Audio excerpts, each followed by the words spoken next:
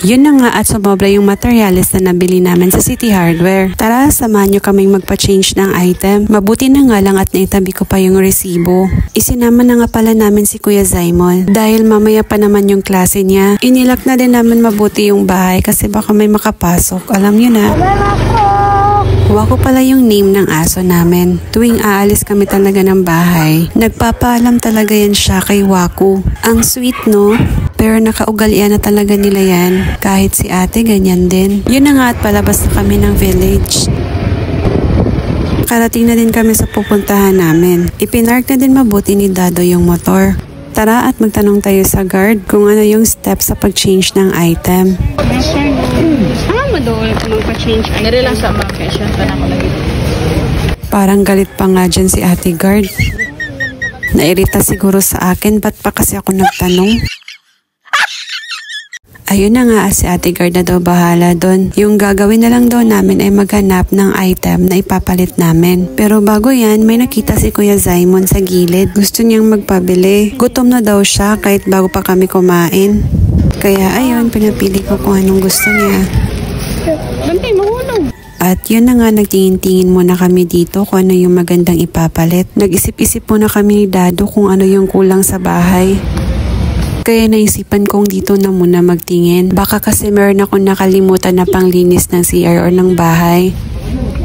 Pero okay na pala, meron na kaming mga basic na gamit panglinis. Kaya naisipan ni Dado na ito na lang daw. At dahil nanay tayo, tumitingin talaga tayo sa presyo. At sabi ko, wag yan kasi mahal, pwede naman tayong magpagawa.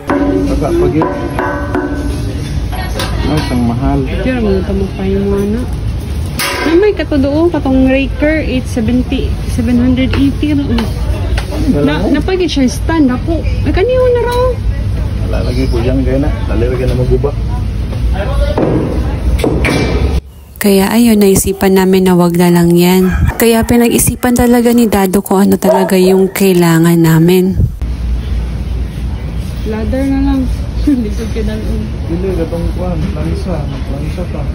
Ay, oo. Ito na lang do.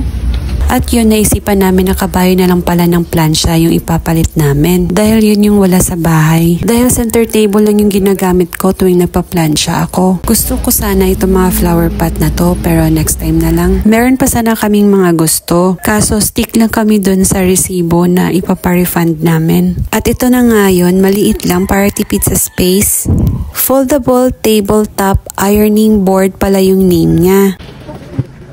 Kinuha na din namin itong chair. Kailangan din namin ito para sa paglalaba. Isa lang kasi yung maliit na chair na gamit namin tuwing naglalaba kami. Kaso tuwing nagdi-day off si Dado, tinutulungan niya akong maglaba. Kaya yung lata ng paint na lang yung ginagamit niya.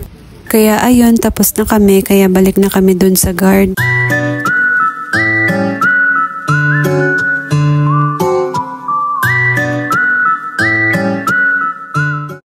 At ayun, dito lang kami naghihintay, binavalidate pa nila yung item. Pinapunta na din kami sa cashier at pinakita yung resibo.